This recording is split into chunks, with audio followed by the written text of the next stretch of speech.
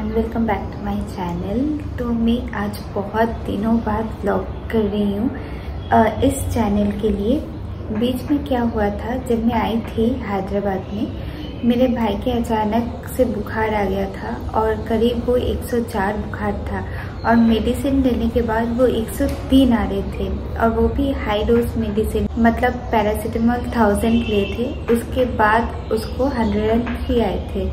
तो फिर मैं और मेरे हस्बैंड ने फाइनली डिसाइड किए कि नहीं, उसको हॉस्पिटल में ले जाना पड़ेगा। फिर हॉस्पिटल में जैसे उसको ले गए थे हम लोग, तुरंत उसको एडमिट कर लिए थे।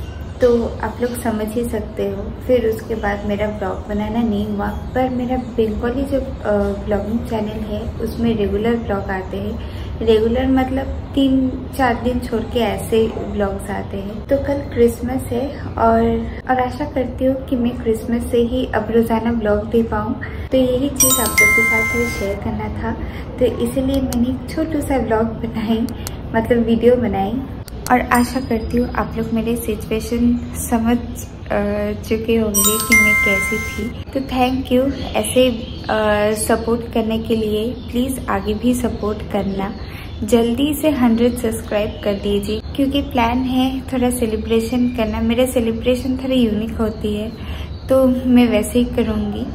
तो जल्दी से मेरे चैनल को सब्सक्राइब कर लीजिए। अगर आप नए हो तो और, बस अभी तक तो इतना ही। फिर मिले क्रिसमस वाली ब्लॉग में। और मैं एकदम प्रॉमिस करती हूँ कि अब मैं कोशिश करूँगी दोनों चैनल पे रेगुलर ब्लॉग देने के लिए। तो चलिए, अभी के लिए बाय बाय